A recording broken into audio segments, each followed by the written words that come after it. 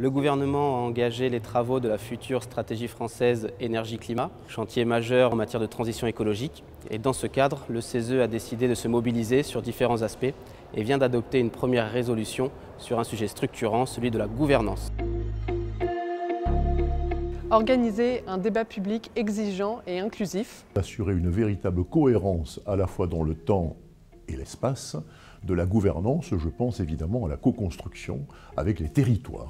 Évaluer les lois et décisions publiques au regard de leur impact sur l'environnement. Améliorer l'empreinte carbone de la France qui, à cause des importations, a mal évolué. Réindustrialisation avec des filières d'excellence nouvelles, notamment autour des énergies renouvelables, et ceci aussi euh, portera quelque part des impacts en termes de souveraineté.